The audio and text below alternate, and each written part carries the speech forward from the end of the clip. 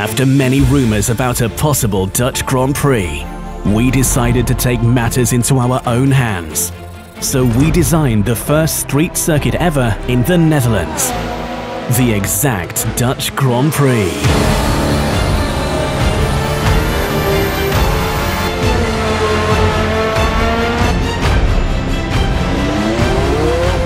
After the track was finished, we asked Formula One driver Max Verstappen to put the circuit to the test.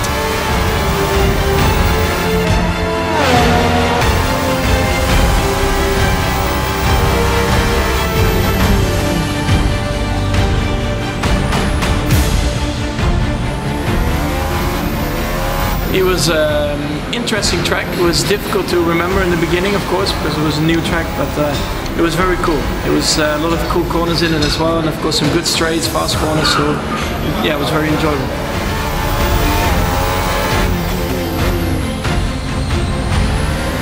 You know, to build that track takes ages, and you know you have to be curious on how to design this kind of things. And I think, like Exact itself, they're always very tech curious, so it's a very good match.